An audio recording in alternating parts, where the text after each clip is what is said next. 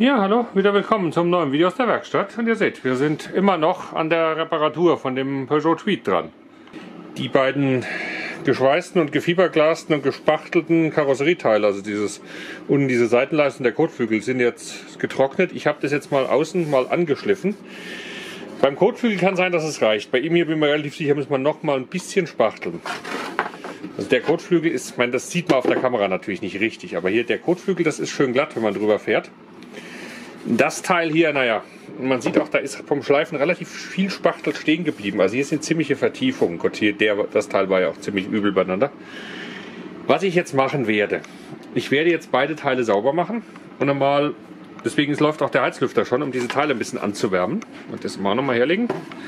Und was ich jetzt machen werde, ich werde die Teile jetzt sauber machen und werde dann hergehen und einmal die gespachtelten Stellen so ganz bisschen mit Grundierung ansprayen, weil dann sieht man nämlich besser, wo man nochmal beigehen muss. Das lassen wir jetzt einfach mal liegen und trocknen. Aber man sieht es jetzt schon, dass da gerade hier am Kotflügel, ist eine schöne Stelle, wo man es deutlich sieht, dass da so diese Stellen, wo ich reingebohrt habe, um die Risse zu stoppen, da muss man noch ein bisschen beispachteln und solche Sachen. Und das sieht man eben deutlich besser, wenn da ein Primer drauf ist. Weil auf dem abgeschliffenen sieht man es nicht gescheit. Aber gut, das lassen wir jetzt erstmal trocknen. Dank dem Heizlüfter sollte das relativ fix gehen. In der Zwischenzeit schauen wir uns mal die Technik von dem Roller nochmal an.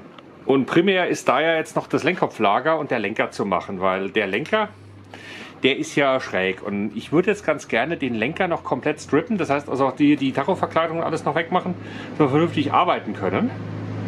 Und dass wir dann einfach noch mal gucken, was wir dann da jetzt noch alles finden. Weil den Lenker jetzt einfach mal ganz abbauen von der Gabel. Und die Idee für das Lenkkopflager ist, ich werde das Lenkkopflager mal erstmal nur lockern, dass man es ein Stück weit rausziehen kann. Weil dann kann man sich die Lagerschalen und die Kugeln mal angucken. Eventuell kommen wir davon mit neu einstellen. Vielleicht brauchen wir neues. Ich habe sicherheitshalber mal ein neues besorgt, aber das sehen wir jetzt dann schon. Und wenn man sich das jetzt hier anguckt, sieht man, dass der Lenker ist eben tatsächlich nur mit einer, mit einer Schraube befestigt. Und wenn man jetzt mal schaut, wenn wir jetzt mal die Gabel so drehen, dass sie gerade ist. Ich weiß nicht, ob man es auf dem Video raussieht. Aber dann sieht man, dass der Lenker ein bisschen seitlich orientiert ist. Zwar leicht nach links. Jetzt mal schauen, wie viel Spiel wir dann da drin haben, wenn wir diese Schraube jetzt hier lösen. Das ist mal das nächste. Kabel sind weg, die Bremsen lassen wir mal dran, weil ich werde den Lenker nicht komplett wegnehmen, den lassen wir einfach noch runterhängen. Das sollte eigentlich genügen. Erstaunlicherweise war das Lenkkopflager völlig in Ordnung. Also bei 40.000 Kilometern mit dem Mofa-Roller, Respekt, das ist okay. Ne, ich habe das jetzt einfach ordentlich sauber gemacht, ordentlich gefettet, weil das alte Fett völlig verhärtet war. Und jetzt ist, läuft das Lenkkopflager wieder richtig schön. So wie es sein soll. Ohne Rastpunkte, ohne Spiel, schön leicht von Endpunkt zu Endpunkt, so wie es gehört. Setzt sich dann noch ein bisschen dann ist das wieder richtig schick. Dann kann sie nochmal 40.000 Kilometer fahren damit. Der Lenker ist jetzt mal so provisorisch wieder drauf gesteckt. Und die Karosserieteile hier, die habe ich jetzt an den Stellen noch mal ein bisschen nachgespachtelt. Jetzt hat man schön gesehen, wo es nötig war. Eben einfach so diese kleinen Stellen noch mal ausgeschmiert. Jetzt trocknen lassen, dann kann man das dann auch nochmal schleifen und dann sollten die eigentlich so weit sein, dass wir sie lackieren können. Dass wir es gerade noch so schaffen, bevor es, ja, ich wiederhole mich, bevor es endgültig zu kalt wird. Und das hatte ich ja neulich schon gesagt, wir müssen uns hier unten am Chassis mal diese Roststelle angucken. Das ist nicht durch, aber man sieht halt, dass sich da die Pulverbeschichtung abgepellt hat.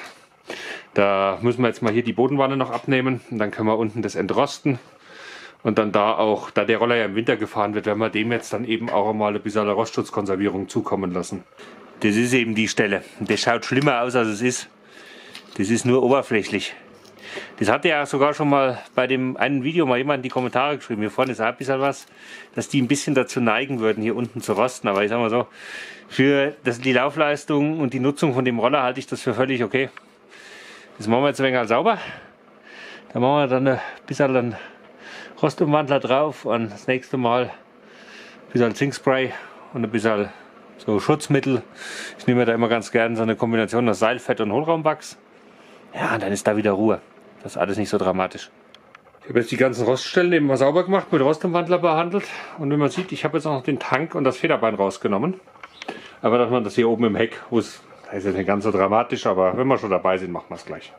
Auch hier mal den, dieses Abdeckblech unter dem Sitzbankschloss rausgenommen. Dann kann man das Sitzbankschloss anschließend noch ordentlich fetten und hier drin auch ordentlich versiegeln und alles. Und dann wird das.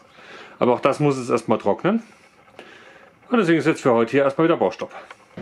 Ich habe die Teile jetzt noch mal angeschliffen. Jetzt müsste es dann eigentlich passen. Jetzt kriegen sie noch mal eine Schicht Grundierung und danach dann neue Deckfarbe, also neuen schwarzen Lack. Hier oben, da sieht man es wenigstens schön, weil unten kann man nicht gescheit hinschauen.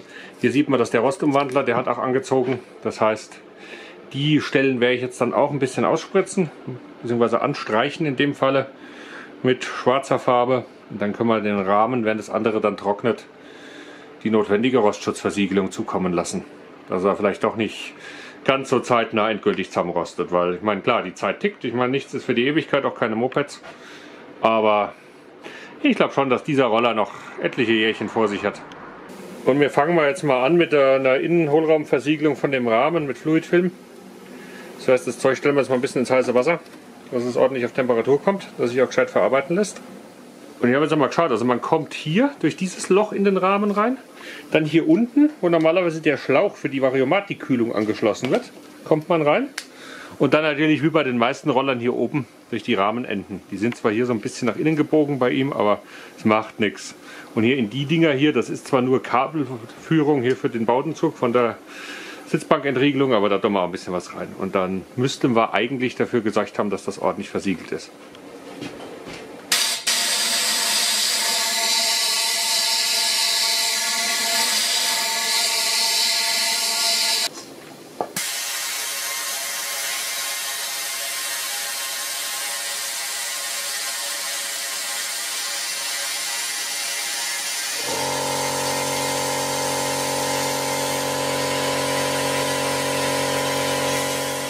Also die großen Rohre haben jetzt ihren Schutz, aber ich habe jetzt festgestellt, hier in den unteren Bereich, da komme ich mit meiner Druckluftsonde nicht rein, weil ich hier nicht um die Ecke komme. Und was ich jetzt gemacht habe, ist nicht ideal. Ich habe jetzt die beiden Hauptrohre und diese beiden Querrohre jeweils angebohrt. Dann kann man nämlich mit der kleinen, mit dieser Spraydosensonde da reingehen. Also mit diesem Ding hier. Weil damit kommt man da nämlich dann schön um die Ecke. Und ich meine, natürlich ist in den Rahmenbohr nicht ideal, aber ich behaupte mal, dass diese Löcher hier weniger Schaden anrichten, als wenn die Rohre durchgerostet sind. Deswegen schützen wir sie so jetzt. Man sieht es jetzt auch schön, wenn ich jetzt da rein spraye, kommt es da drüben aus der offenen Stelle an der Schweißnaht wieder raus. Das ist natürlich genau das, was man haben will. Wir wollen den Rahmen ja wirklich fluten mit dem Zeug. Gut, da ist jetzt ungefähr ja, ein halber Liter Permafilm und ja, auch nochmal ein halber Liter Wachs in auf dem Rahmen. Und hier unten den ganz besonders gefährdeten Bereich habe ich mit dem Permafilm eingepinselt, also mit dem ganz guten, mit dem, dem dicken Zeug was dann auch ein bisschen fest wird und dann eben auch da bleibt. Bodenwanne ist wieder dran. Es muss jetzt natürlich trocknen, warm packen kann man den Roller jetzt erstmal nicht. Einzige, was ich jetzt noch machen werde, ist hinten das, das Sitzbankschloss wieder einbauen, dass man da dieses Abdeckblech wieder dran machen kann. Dann kann nämlich auch das Federbein wieder rein. Gut, das Heck ist auch wieder soweit beieinander. Federbein ist drin, Tank drin, angeschlossen. Ja gut, jetzt müssen wir eigentlich einfach nur trocknen lassen. Das heißt, in der Zwischenzeit können wir uns mal der Lackierung von den beiden noch ausstehenden Karosserieteilen zuwenden. Die Seitenleiste habe ich jetzt tatsächlich direkt schwarz lackiert. Den Kotflügel, dem habe ich jetzt in dem Bereich, der hinterher voll im Sichtfeld liegt, nochmal mit Dickschichtprimer angesprayt. Da gehen wir dann nochmal mit ultrafeinem Schleifpapier drüber. Weil Kotflügel ist so ein Teil, das so gut wie möglich werden muss. Denn, mein, bitte, das wird keine perfekte Lackierung. Das wird eine, ich sage jetzt mal, okaye Garagenlackierung. Mehr wird das nicht. Mehr ist mit meinen Mitteln nicht möglich und auch nicht mit meinen Fähigkeiten. Ich bin kein Lackierer. Das ist auch was, ich mache das äußerst ungern. Das macht mir nicht wirklich Freude. Es ist notwendig manchmal, aber wirklich Freude macht es mir nicht. Aber naja gut. Wir müssen es jetzt halt in solchen Fällen also mal machen und deswegen machen wir es. Es geht jetzt einfach wirklich darum, diesen Roller, ja, es gibt diesen grausigen Begriff der zeitwertgerechten Instandsetzung und das ist das, was wir hier gerade machen. Aber es ist okay. Der soll noch ein paar Jahre fahren und das wird er tun und das ohne utopisch viel Geld ausgegeben zu haben. Was ja auch ein Wert für sich ist. Aber jetzt mal soweit sinnvoll ist, die ganzen Verkleidungsteile wieder dran gemacht. Hier die oberflächliche Schramme ein bisschen beilackiert. Aber jetzt müssen wir hier am Seitenteil, das geht eben schöner, wenn es am Roller ist, die Reste von dem Tweet-Schriftzug noch entfernen und hier den Peugeot machen wir weg. Und dann das hier, das ist nur oberflächliche Kratzer, also das ist nicht wirklich tief. Das können wir am Roller einfach ein bisschen äh, mit ganz feinem Schleifpapier beischleifen und lackieren, dann sieht das auch wieder ordentlich aus. Weil, wenn man sich anguckt, der ganze Roller ist voll mit Mikrokratzern und Spuren. Wenn man das jetzt perfekt macht, das sticht raus. Also, muss irgendwo die Grenze ziehen. Wie gesagt, soll kein Neufahrzeug werden, wie ich vorhin schon gesagt habe, zeitwertgerecht. Aber halt trotzdem ordentlich. Genau, ich habe das jetzt eben angeschliffen, 600er Nasspapier und das da mal jetzt am Fahrzeug einfach ein bisschen beispritzen. Dann sollte sich das eigentlich, wenn man es anschließend poliert, wunderbar ins Gesamtbild einfügen. Und der Kotflüger ist das gleiche gekriegt. 1200er Papier, Nassschliff und schwarze Farbe drauf. Lassen wir das auch noch ein bisschen antrocknen, dann kriegt er eine zweite Schicht. Ja, und dann warten wir mal zwei, drei Tage, bis das ganze Zeug trocken ist. Wir haben jetzt im Video mal einen Zeitsprung von ein paar Tagen, weil ich muss das ja alles ordentlich trocknen lassen. Und ihr seht, ich habe den Roller jetzt vorne mal wieder so weit beieinander. Die Gabelholme wieder rein, Bremse, Tachowelle angeschlossen, der Kotflügel ist drin. Und weiter bauen wir jetzt mal nicht zusammen, weil ich würde es ganz gerne mal in diesem Zustand mit dem Roller fahren. Und zwar einfach um zu gucken, ob der Lenker wieder gerade steht. Ich bin mir da nämlich nicht hundertprozentig sicher. Aber das werden wir jetzt dann gleich schon sehen. Ich meine, klar, Geschwindigkeitsmessung etc., irgendwelche Bedienelemente testen können wir jetzt nicht, ist nichts dran. Aber eigentlich müsste man ihn, Batterie hat er, eigentlich müsste man ihn jetzt mit dem Kickstarter anlassen können. Das probieren wir jetzt einfach mal aus. Probieren wir es mal. Zündung an. Schauen wir einfach mal. Na, bei 18 geht doch. Lassen wir mal eine halbe Minute warm laufen und dann fahren wir mal eine Runde.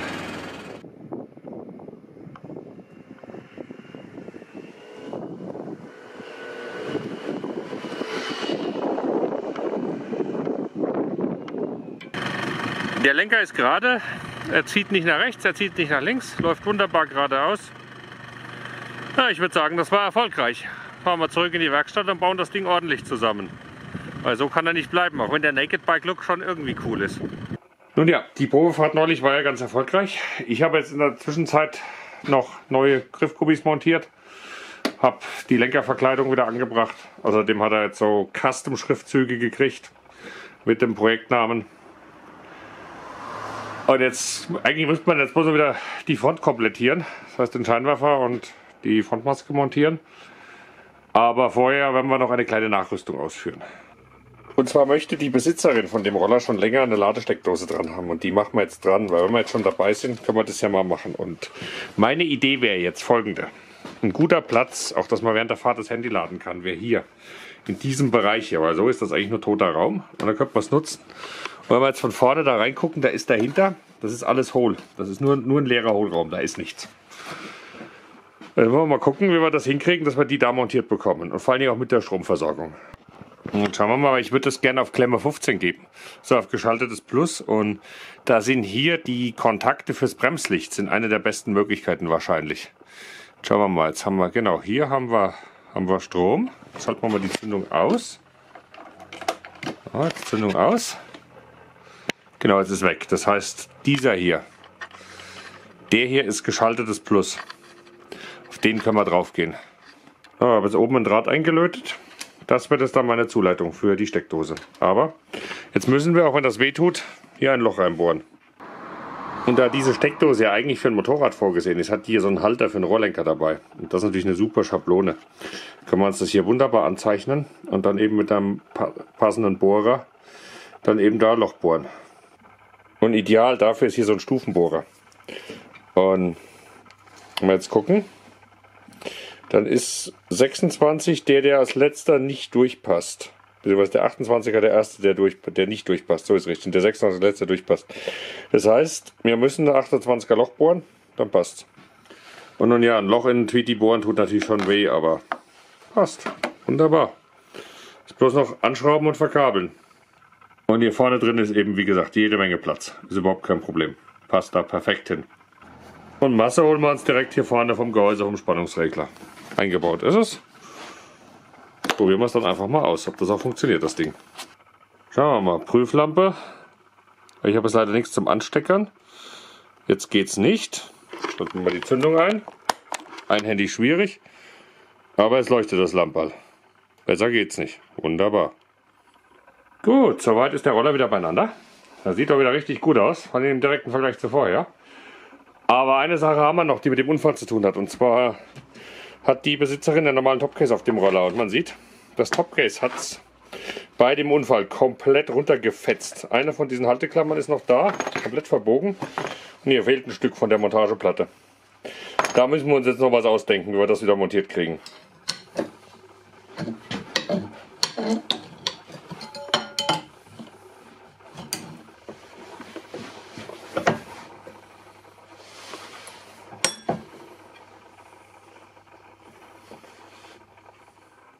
Das ist die wiederverwendete Klammer. Die beiden anderen sind welche, die ich noch hatte. Jetzt ist es wieder ordentlich fest.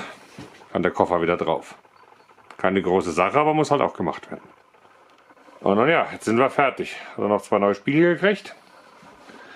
Alles wieder beieinander. Kann er zurück zu seiner Besitzerin. Auf hoffentlich noch sehr viele schöne, unfallfreie Kilometer. Weil man kann diesem Roller an sich bisher nur sehr gute Noten ausstellen. Der läuft sehr schön, der ist extrem zuverlässig. Das ist auch der Grund, warum wir diese Unfallinstandsetzung jetzt überhaupt gemacht haben. Weil das war eigentlich ein wirtschaftlicher Totalschaden. Vom Wirtschaftlichen her hätte er eigentlich in die Schrottpresse gehört. Aber dieses Schicksal ist ihm erspart geblieben. Er ist wieder beieinander. Das heißt, zurück auf die Straße mit Tweety. Dann habe ich hier in der Werkstatt wieder Platz für neue Arbeiten, neue Projekte. Jetzt dann vom Winter natürlich hauptsächlich meine Sachen. Obwohl es demnächst hier auf dem Kanal, so viel sei schon mal verraten, tatsächlich auch mal ein Wiedersehen mit einem alten Bekannten geben wird. Mal gespannt, was er dazu sagt. Auf jeden Fall, ich wünsche euch und in diesem Falle auch ganz besonders der Besitzerin von diesem Street hier gute, unfallfreie Fahrt und bis zum nächsten Mal. Tschüss.